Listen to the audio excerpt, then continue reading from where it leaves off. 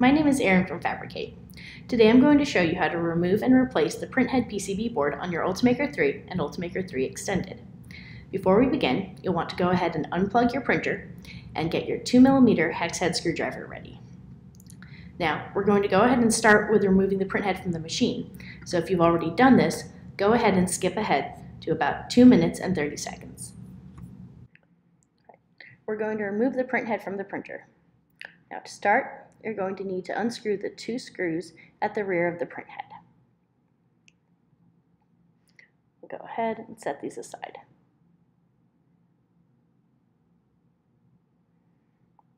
Next, we're going to remove the clamp clips from underneath the collets. Just slide them forward. Be careful not to drop them. now, apply downward pressure to the collet and pull up on the Bowden tube. Do the same thing to the other Bowden tube. Downward pressure and up. Next, we'll go ahead and take the screwdriver and stick it in the hole at the back of the printhead. This will let you remove that cover. Now, if your printhead looks like this, with no tabs between the two halves of the cover and a taller part on the upward bit, then you're going to need to go ahead and pull it off vertically going up rather than sliding it back. Alright, I've moved the print head to the side to make this a little easier to see. So we're going to fold back the cable a bit and you see that small white rectangular piece? You're going to get your screwdriver underneath it and apply pressure to the side to help it release the clamp because that clip is what's holding it in place. There you go. Next, we have to remove the printhead shafts. I like to start with the Y shaft. Tilt the rear sliding block forward so that you can release the Y shaft. Do the same thing with the front sliding block and pull the whole printhead shaft forward out through the front of the printer. Next, you're going to do the same process on the left and right sliding blocks. Go ahead and turn the printhead slightly diagonal to pull it off. Now we're going to go ahead and remove the printhead PCB from the printhead. First, we want to go ahead and remove these four screws. They hold the side fan bracket parts together.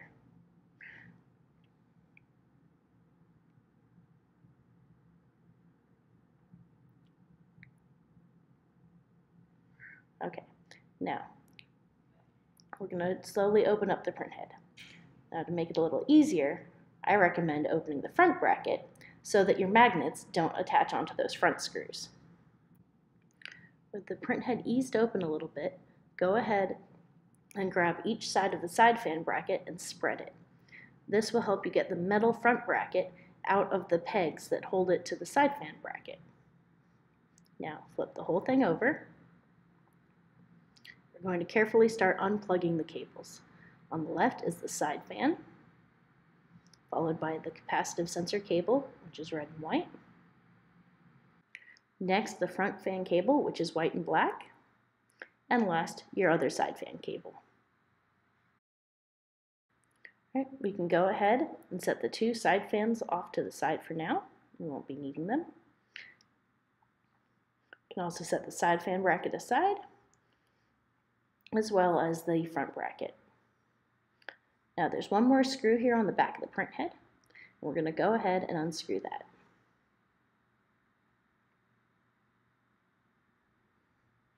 Alright, this is the screw that holds the print head PCB board in place.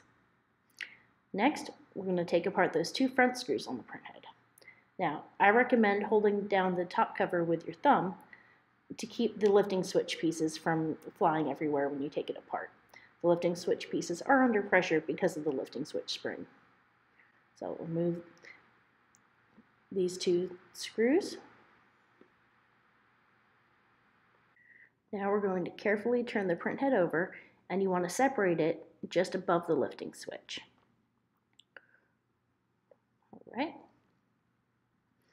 So now you can go ahead and lift out the Y bearing and your print head PCB.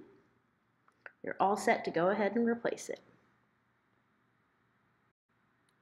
Now we're all set to go ahead and install the new printhead PCB board. Here's your new PCB, the metal contacts for the print cores, and the connectors for the cables. We're going to go ahead and slide that back into place with your Y bearing coming through it. There's no front or back to the Y bearing. And slide that on through and set the PCB board into the printhead housing. There's a little tab at the bottom for it to fit in, so you should be able to feel when it's properly seated. Now, I like to press a finger against the PCB board while I screw in the little screw that holds it in place because that should help keep it stable. Now, it's important not to put too much pressure on this screw. You know, it should be very firmly settled, but don't over tighten it or you could break it off at the PCB. Now we're going to take a look at the lifting switch parts. Next, we're going to pull all the lifting switch parts out of the two halves of the print head.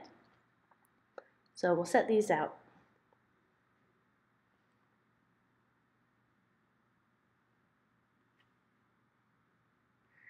Sometimes it's just easier to turn the print head over and drop them. So here, we have the middle piece of the bearing housing and your filament guide insert. Pop that through there and then press the top piece on to hold it in place. Flip the whole thing upside down. Next, take your print head spring and put that over the filament guide insert. Next is the lifting switch ring. Now you'll notice that on one side it's very smooth and round. On the other side it has little pieces like mountains or like a jigsaw puzzle. That's the piece that you want to see because this is going to help hold the lifting switch in place. Now there are actual little cutouts on the print head bearing housing which will help you find the right place for it. So you can see it's got a little bit of tension so it's not going down very far. Then take your lifting switch, put that right over it. It'll fit into place. You'll have the lever towards the back when you're holding it this way. Now you've got your last piece, which is kind of C-shaped. It's got the jigsaw on one side and a plus sign on the other. You want the plus sign on top.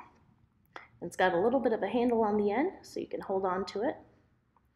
Now we're going to turn the other half of the print head upside down, press the two halves together, trying not to lose all those lifting switch pieces. All right, seems to have fit together nicely. Now we can go ahead and reinsert the screws.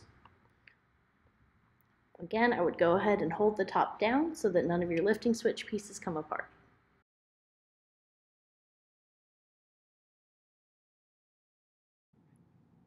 Let's pick up your front bracket and side bracket and we're going to go ahead and put one of the holes through one of the pegs on the side fan bracket, stretch the bracket open so that we can get the other hole through.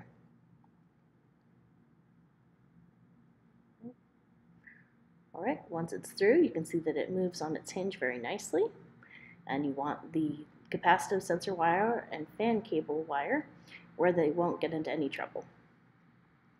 Now slide your radial fan in. You want the extra length of wire looped behind it. The other one as well.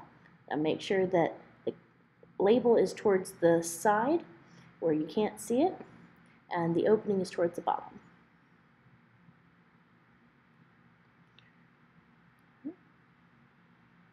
Now we're going to go ahead and put the two halves of the print head together, making sure not to pinch any of the wires. Just about the worst thing you could do at this point is going to be to pinch a wire and have to take everything apart again. So make sure to hold, hold them where they can get through cleanly and not get in the way of anything. Again, it helps to have your bracket open so that the fan isn't trying to interfere with the print head screws in the front. The red and white capacitive sensor cable goes second from the left, looking at the back of the print head. The white and black front fan cable goes in the third spot from the left. Then your two side fans go on the ends.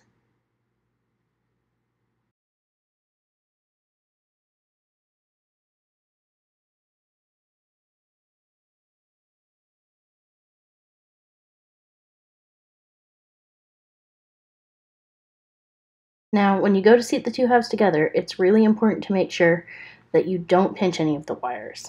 I know I said it before, but always worth saying again. So just make sure that you've got everything running through all the grooves and all the places where they're meant for the wires to go.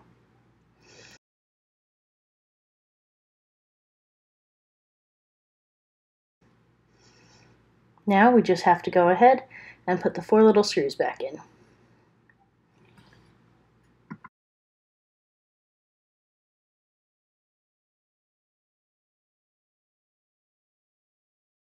And there you have it. You've reassembled your print head. So make sure the bracket closes good and you're ready to install it back in the printer. All right. We're going to go ahead and install the print head back in the printer now. So you want the longer of your two print head shafts. This will be the X shaft. You're going to go ahead and put that straight through the print head. Right. Turn it a little bit diagonally so that you can go ahead and get the print head shaft in there between the belts and rest it on top of your sliding blocks on the left and right. Now we're going to go ahead and make sure that the print head shaft is far enough to the left, otherwise it won't trigger the end stop. I like to use about a finger's nail's width between the left side of the print head shaft and the wall. It's important to make sure the sliding block and print head shaft are perpendicular. If it's tilted, it will cause problems later. Now do the one on the left.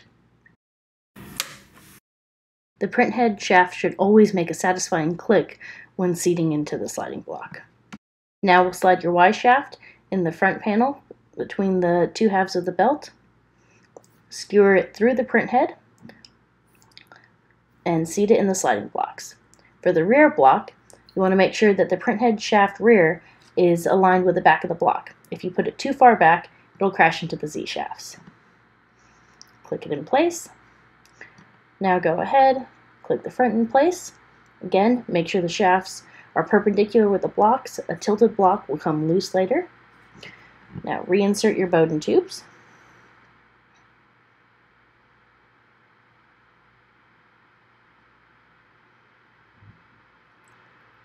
Take your clamp clips. We're going to go ahead and slide those underneath the collet. If you ever lose your clamp clips, it's very easy to print more. There they go. Right, now we'll go ahead and reseat the printhead cable. So, in general, you should be able to go ahead and just press it back down into place. If you're not sure that it quite clicked back into place, you can always take your screwdriver and apply a little pressure to each side of the large plastic connector and make sure that it's seated. It should click into place. Take the little cover Make sure to feed the tabs underneath. That should slide right back into place. Now again, if your print head looks like this, instead of coming across, you're going to want to slide it down from the top until it fits. Now all we need to do is go ahead and screw the print head screws back in.